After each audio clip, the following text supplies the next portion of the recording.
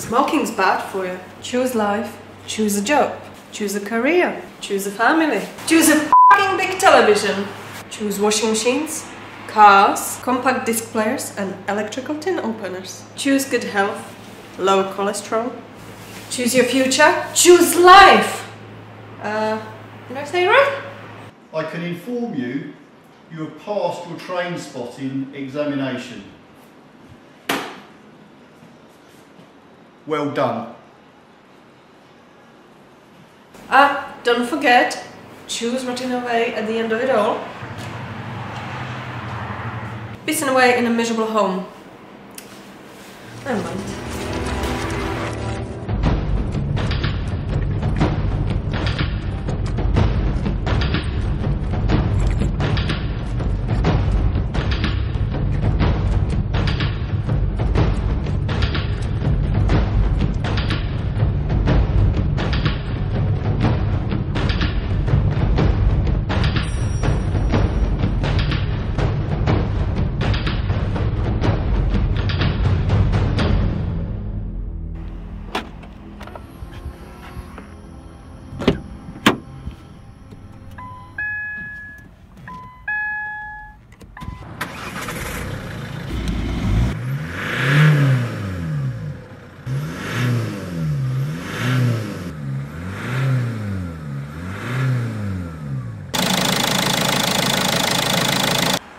Hello everybody, Jackanory time again. Anyway people, I wanted to talk about this Ford Mondeo. It's a 2010 Ford Mondeo 2 litre diesel Titanium X I have to say. It's a very nice car. I have drove this car and it feels solid. It's a, it's a nice car to drive. It's got all the electronic dash, you know, all the bells and whistles. But anyway, uh, the boss bought this car to, to sell it on, obviously, because it's a used car lot here. Unfortunately, there was a little problem with it. Uh, I'm going to run you through that problem and I'm going to run you through what I've done to fix it. The unfortunate bit of it all is I didn't make a video on this because after he bought this car, it sat here, I looked at it, I'd, I'd done a little bit to it, then other work come in, more important stuff, so I had to leave it. And it's been the, it's been the course of about two months now, I've actually fixed it. So I've only been sort of like working on it when I've had the time. So anyway, I'm going to run you through what the problem is and what I've done to get to the end of it. Because I'm sure this is not an isolated problem and I'm pretty damn sure there's plenty of people out there, you lot out there, with Mark IV Mondeos with the same engine as this, that probably have similar issues. So I, I shall begin. When this car is stone cold, right, like you've left it overnight, you go to start it, and by the way, I'm, I'm talking about a few months back when we first got this, it was frosty mornings, so it was pretty damn cold. Now these cars have glow plugs in them, so you put, this is a push button thing by the way, which is annoying, but anyway, you've got to push the button on the dash for the ignition lights to come on, and then you've got to wait, well you're supposed to wait for sort of like I don't know, 10 seconds or so, and then you push and hold the button with your foot on the clutch to start the car, and it should just start up because it's got glow plugs in it. But what was happening was, you would try to start the car, it would crank over, and it would it would try to start, it would it would fire, but not quite fire up properly. Then after cranking it enough times, it would eventually fire up, and you would get I'm, I, you know, at the beginning of this video, the smoke, smoke I showed you was nothing compared to what it was smoking like. It was bloody clouds of smoke pouring out of it. And the smoke would continue for like five minutes. But if you got in the car after that and drove it down the road, as soon as that engine warmed up, it was fine. It, it didn't skip a beat, it drove absolutely perfect. Bloody lovely and you drive it back here and there was no smoke at all, completely gone. But leave it again overnight and it'll be the same process, really hard to start and clouds of smoke. So what I'm going to do, I'm going to show you how I went about trying to fix it. so come this way. Before I go under the bonnet, I will tell you I did plug our scanner Solus Ultra into the diagnostic port and I read the ECU. There was only one code in it and it was an EGR fault. I can't tell you what it was now because I've long forgotten, but it, it had the one EGR fault.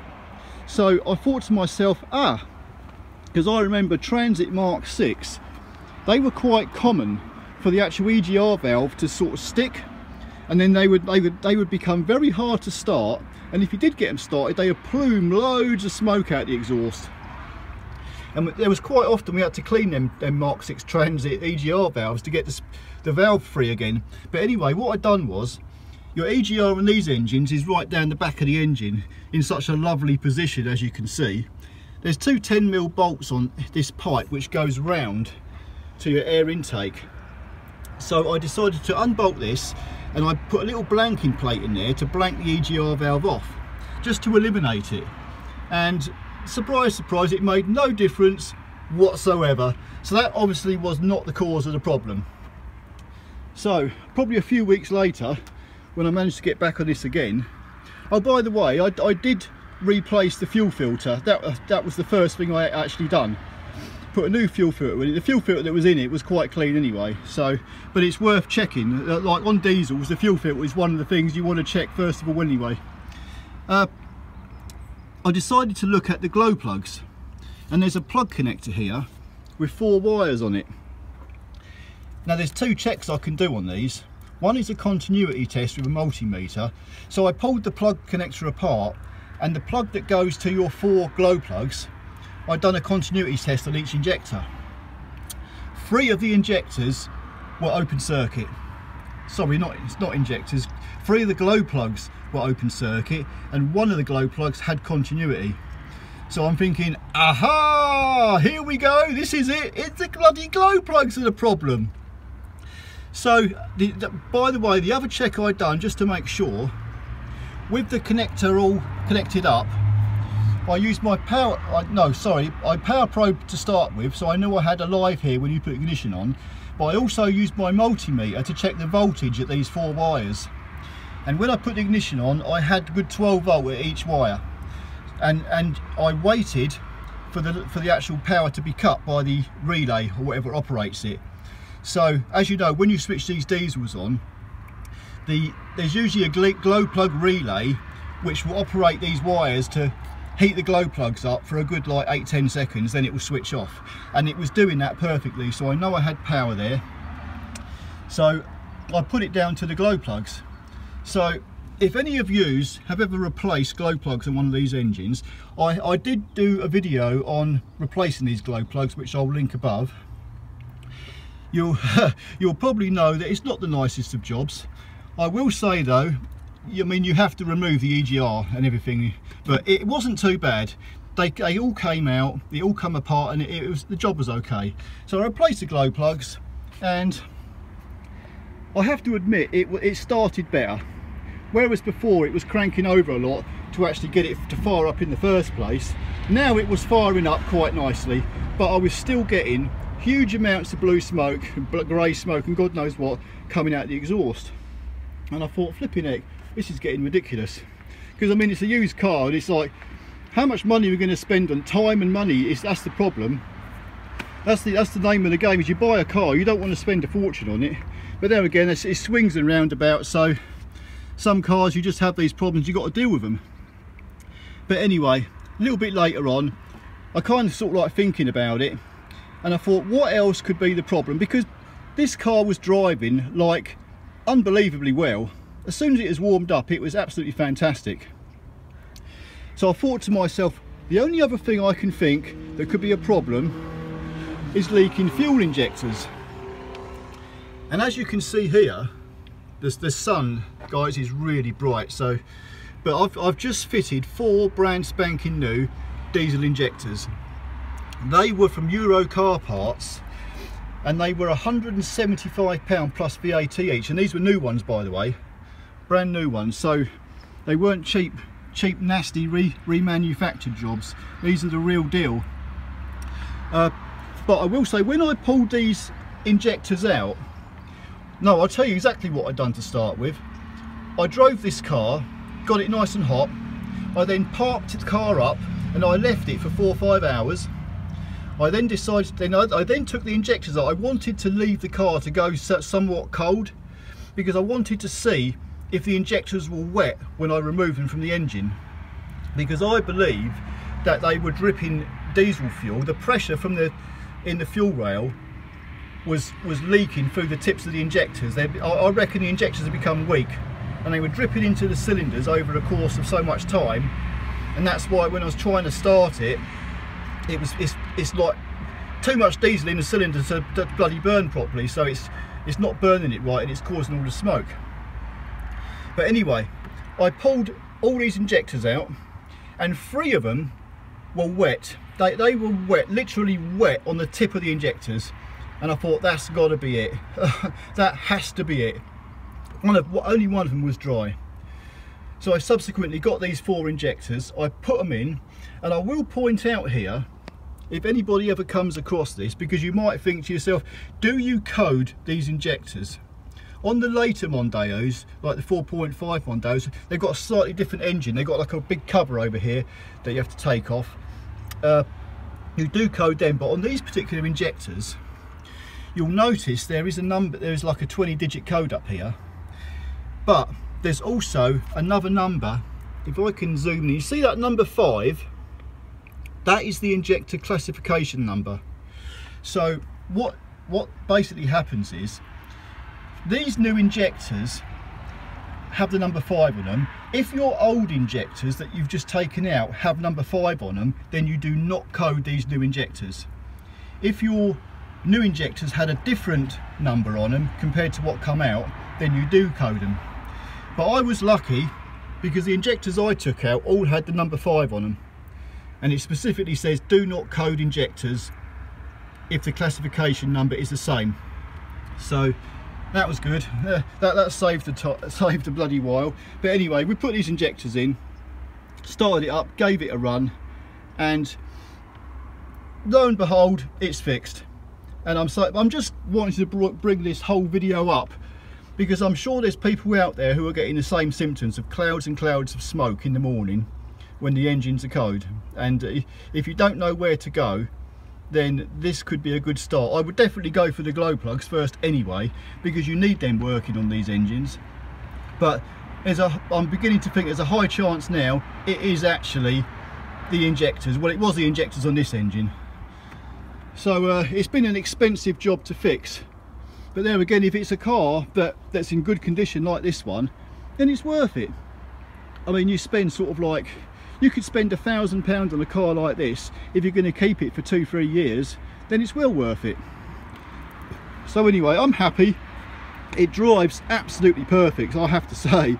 And now to be honest if I start this car up on a cold morning it's like you'll you'll still get a puff of blue smoke or grey smoke wherever it is come out the exhaust on initial startup but the smoke will clear within a space of a couple of seconds. And then you know after that it's perfect. There's no smoke at all. Not it's, it's, the thing to understand is these these Mondeos these engines they're not as refined as like the Mark 5 Mondeos or the BMWs and cars like that where the tailpipes are squeaky clean these tailpipes will always be black with soot these, this car does have a DPF on it but it hasn't got like the advanced system that you've got on the more modern cars because over the last few years, the number of years, they've made leaps and bounds on emissions. So, but this has got like a, a crude version of a DPF on it. so you're always going to get a bit of smoke out of these, but I have to say, after what I've done to it, it's absolutely perfect now.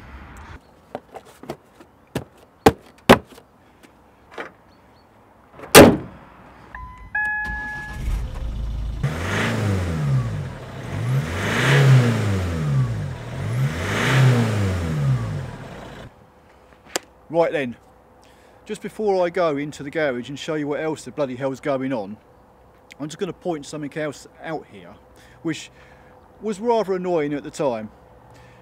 You know I said I bought four brand spanking new diesel injectors for this car?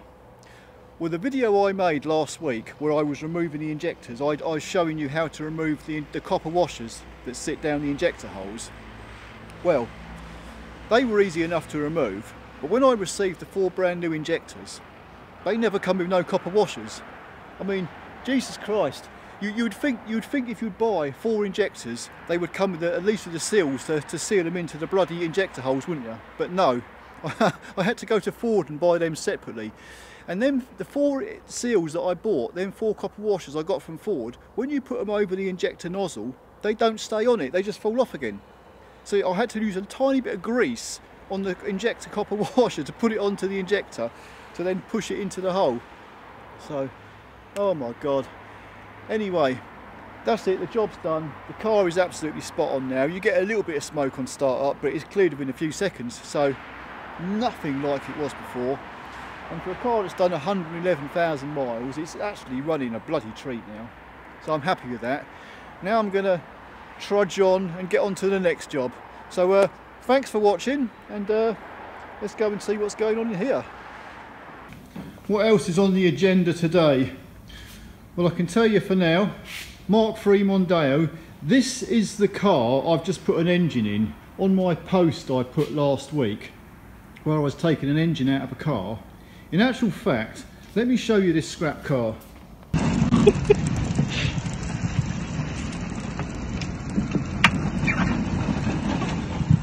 Alan, are you going Alan, do you want to connect up to the front?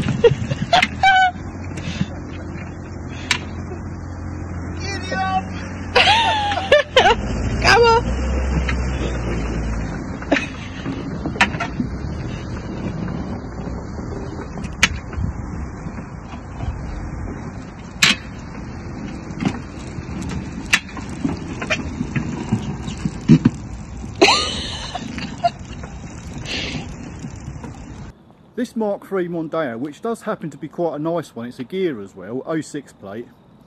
It's one of the rentals that we have here. If they don't get smashed up, they get overheated and it's mainly the Americans that drive them. And what this guy had done, I'm going to have to adjust the exposure here because it's, it's so bright and then it's so dark sort of thing. But he had literally taken it into a ditch and he had bent the bottom arms. So you look at that wheel, he, he's literally, well not bent the bottom arm, he's bent it, but he's actually smashed it, he's actually broke it clean off. I'll show you. I've got the bonnet up. Down there, you can actually see the bottom arms completely snapped off uh, where he's hit it that bloody hard. But at the time of the accident, which was, I think it was last summer, this car has sat here that bloody long now, but the engine was running perfectly fine. The radiator hadn't lost no water. The automatic gearbox was good as far as we know. So now I've got another car with a bloody been overheated badly and it's done the it's either cracked the head or done the head gasket in but it's a lot of work to take the head off one of these HE engines. So I decided to actually just put the whole engine and gearbox out of this car which I knew was okay into the other rental. And I've done that and it's running perfectly fine now but it's got a small problem I'm going to show you but yeah so uh, what I'm going to do with the rest of this car is just take off anything that's good and then get rid of the body shell. I'm sure the scrap man will love it. Bit of a waste of a car really because it was quite nice. So anyway I'm going to go back in the garage and show you what is actually wrong with this car. Yeah I've put the engine in this car. I've done this Monday and it actually went okay. Not really any hiccups.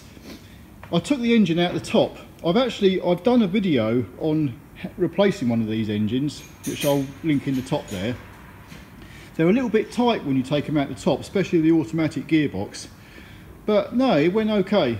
It weren't a bad job to do actually. And that that engine there this is the one the the yank had overheated. It had lost its water. I'll show you actually I'll show you here. That water connect uh, connector here goes to your top radiator so the hose that goes on there let me find it. I think I kept it. Yeah. Here it is. This is uh, all because of a little rubber hose. We've now got a destroyed engine. If I can find. Just there just where the ju- just where the like the Jubilee clip goes round it there, it's split. Yeah, so it's like it split there, and it started pissing out water, and uh, of course. It's, it's completely run out of water. The guys carried on driving it until the engine started chugging and God knows what, pinking and God, all kinds of noises it must have been made, making. And when we asked him, hey, uh, didn't you notice the temperature gauge? He goes, well, well, man, I wasn't looking at the temperature gauge. I was looking where I was going. I was keeping my eyes on the road. What's the bloody point of having a temperature gauge then? I mean, you can imagine if a car runs out of water, it's going to get bloody hot and it's going to start running really ragged. So you'd think, well, I don't know. You would have think you would have noticed something was wrong and you would pull over first. But but these people, they just carry on driving. But there again, it's not their car, is it? So if they blow the engine up, it doesn't really matter. So I shan't be trying to rebuild this. It's just not worth it. If it was a cam belt that was on there, it might be an easier job to take the head off. But because it's a chain and it's a big job getting the chain off and Oh, it's, it's a huge job getting head off one of these anyway. I just ain't got the time for it. It's quicker to put the bloody engine in. But anyway, I put this engine in, uh, which we presume is all, all okay, but it's got this problem. So I'm going to fire it up.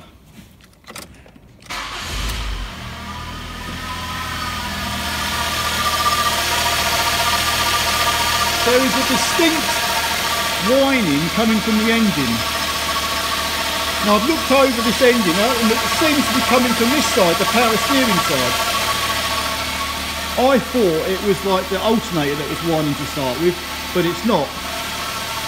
And what I've actually done, this screwdriver, this is what you do, you put the screwdriver to your ear and you put it on parts of the engine. And I can tell you now, down there where the air conditioning pump is,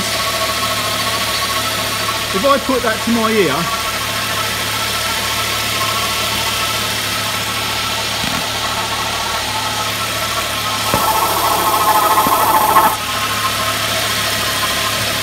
I can really hear it whining, so I'm pretty sure that the air conditioning pump's buggered.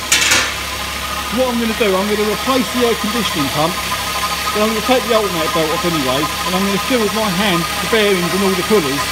I put a brand new water pump on this engine, so I know it's not the water pump. But that whining don't sound too clever, so I better look into it. So yeah, I just wanted to point that out. If people don't know, you can put a screwdriver to your ear, like that, and then put it on, on the part of the engine, not the rotating part obviously, but on the body of the, like, a, like the alternator or the power steering pump or the aircon pump and you can hear the vibrations coming through that unit, say the aircon pump, you'll hear it vibrate through the screwdriver to your ear. And the louder the noise, the more probability it is that bloody unit. And I'm pretty sure it's the, it's the bloody air conditioning pump that's noisy. So I'm going to rip this off. There's no gas in this system because I ain't gassed it up yet. So I've just taken the alternator belt off.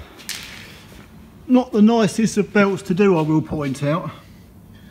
Uh, right, there is our air conditioning pump. Now, not the clutch bit on the end, that doesn't matter, but this here, just listen to this. I hope you can hear it.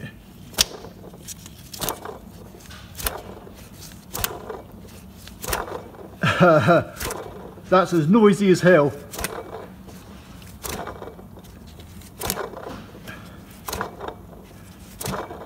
Yeah.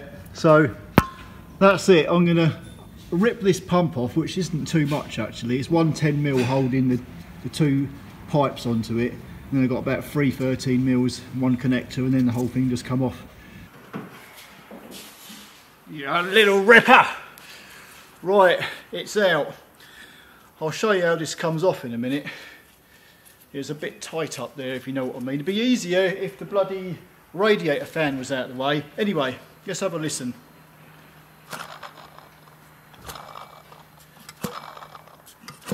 You hear that? That's as rough as arseholes.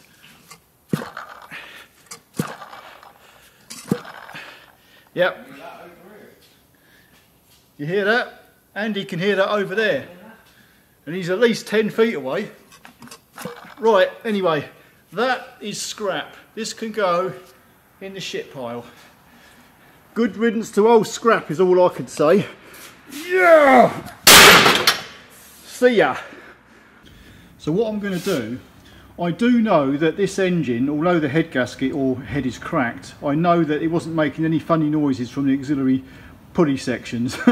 so I'm going to take this auxiliary belt off and I'm going to take the aircon pump off this engine and put it back onto the car it originally come off. To get that belt off it's like a 15 mil bolt on the tensioner there. You just do it clockwise and that will loosen the belt like that. And once that belt is loosened I'm going to have to hold this with my foot because my I've got one hand holding the phone. So now come on. That's it. We're off. That's our serpentine belt off but yeah these these aircon pumps. Oh this one's nice and smooth. All you've got is one plug connector there which will come out there like that. Uh, yeah it, it wasn't just as well I actually checked this one first but I, I actually know this engine wasn't making any noises. That's lovely. Yeah all you've got is where the two pipes go onto the aircon pump just here. There's one 10 mil bolt in the middle and then you've got two 13 mil bolts at the top and then you've got two 13 mil bolts at the bottom of the pump. So it's down here one's there and one of them's already out because it holds a bracket on for these for the pipes. So uh, four 13 mils and we're off and then we'll bung this on the car and hopefully start it up and there'll be no more noises. Okay this is it. It's all back together. I'm going to turn the key.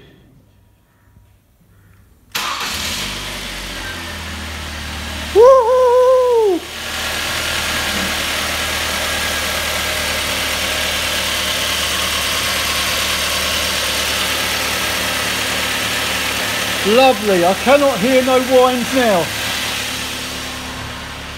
Can you hear any whining, Andy? I can't hear anything. The only whining you're going to get now is from me, because I'm getting all the shit jobs. I'll tell you what though, zero miles range. I better get some petrol in it. No, that's great. I'm so glad that's fixed. Alrighty then, that's it. So uh, I just wanted to bring up that Mondeo because I thought it was a little bit interesting. Uh, and, and the Mark III Mondeo, that was quite funny as well. But anyway, if I find anything else that's worth talking about, I'm sure to make a video on it. So till the next time guys, thanks for watching and I'll see you in the next one. Adios.